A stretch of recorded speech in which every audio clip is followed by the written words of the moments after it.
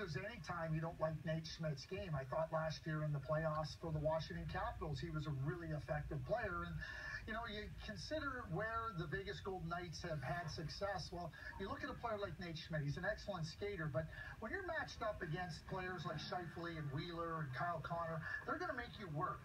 Well, Nate Schmidt has no problem whatsoever getting involved in the work, and he gets right into your space. He gets right into your face, and he is not going to back off at any moment in time.